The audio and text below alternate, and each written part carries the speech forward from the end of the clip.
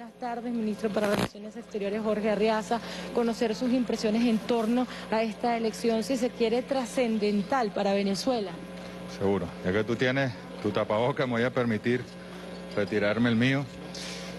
Mira, en primer lugar me corresponde, como ministro de Relaciones Exteriores, expresar nuestras condolencias al pueblo de Uruguay y a los pueblos de nuestra América por el fallecimiento del expresidente Tabaré Vázquez, un hombre justo, un hombre democrático, un hombre amante de su pueblo y de las luchas y las causas populares.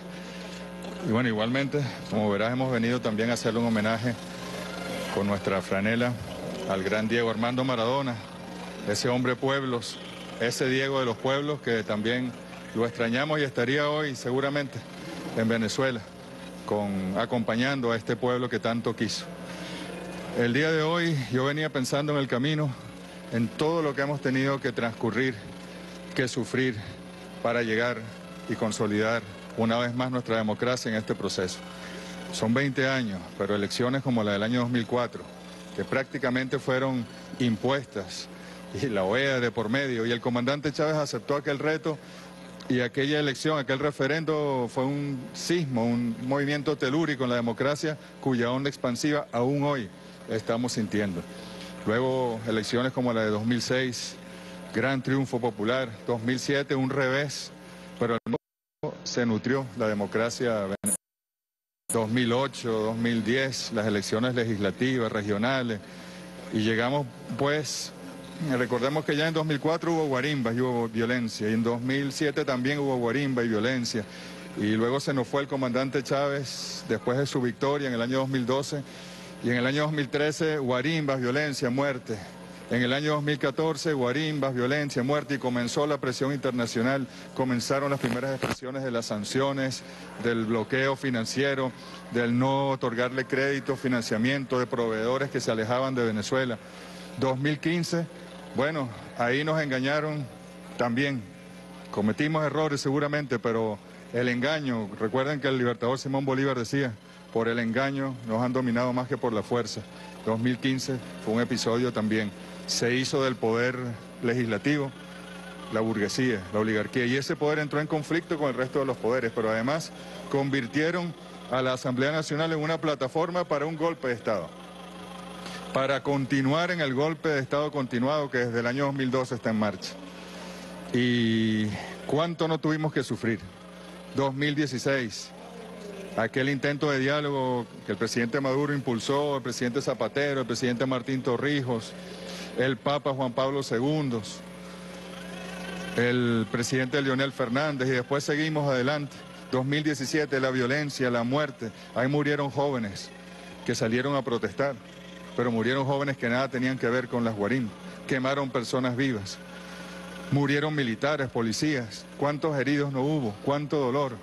Y el presidente Maduro logró neutralizar aquello llamando a la constituyente, llamando al poder del voto.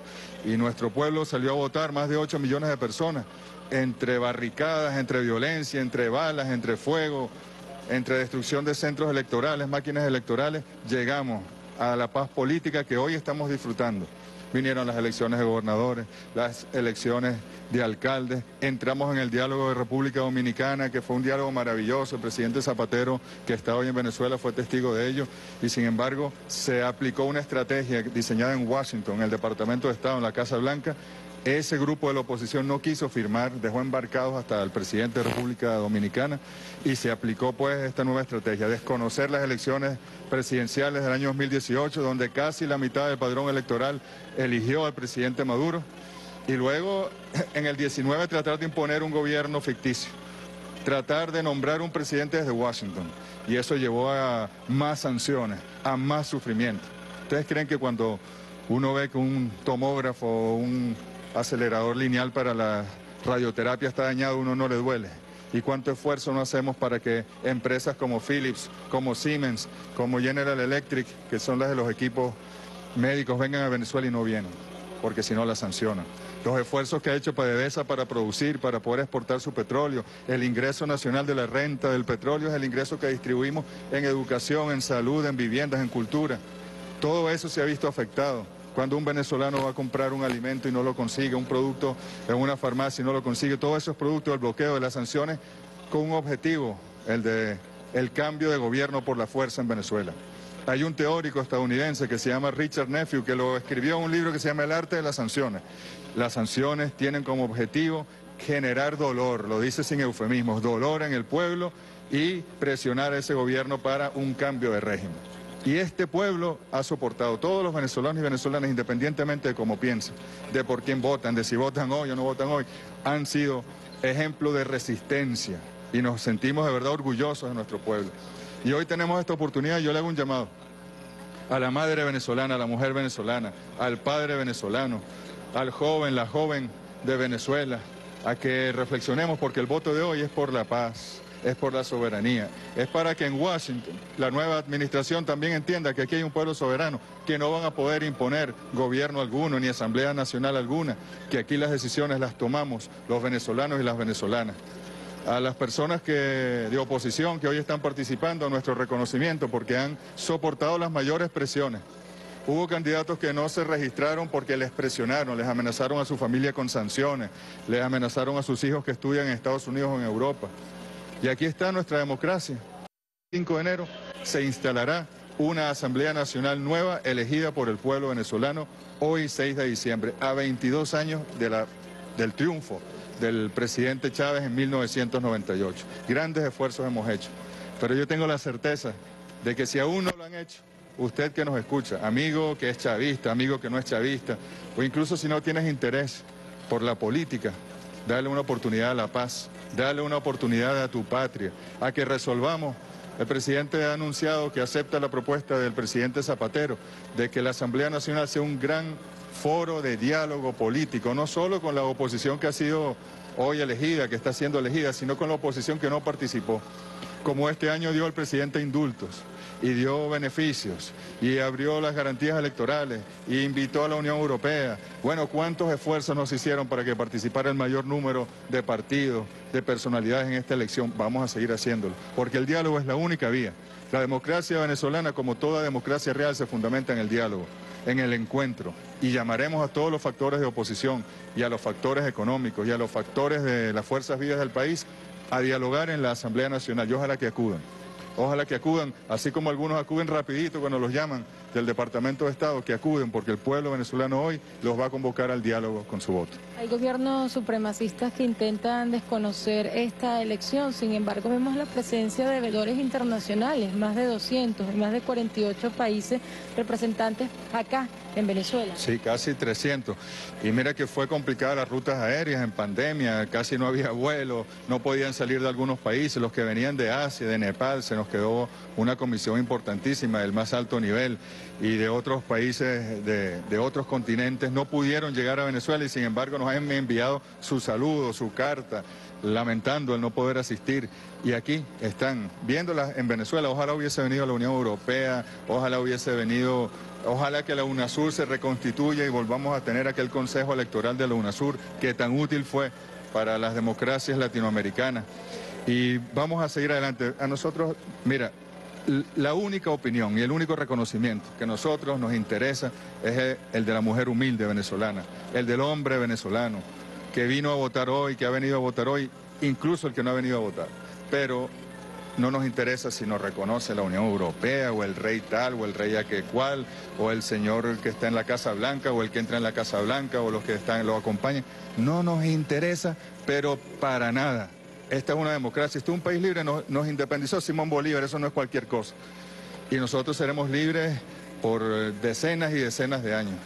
Aquí estos son los observadores que estaban afuera, los acompañantes. Si por favor pueden acompañarme aquí, aquí ya veo algunos de España. ¿De dónde vienen ustedes? De Colombia, del País Vasco, de Estados Unidos, de Brasil, también el País Vasco. ¿De dónde más? de Brasil, de Chile, del Líbano, de Sudáfrica, caramba, aquí están. Y República Dominicana, mire, ya se parece a la presidenta del Consejo Nacional Electoral, ¿verdad? A Indira Alfonso. compañeros de Nueva York, compañeros de México. ¿Cómo se puede explicar esta presencia de los acompañantes, de los veedores internacionales? Bueno, porque es que nuestra democracia es de, la, de las más de, de las más auscultadas, diría yo, o sea, de las más examinadas.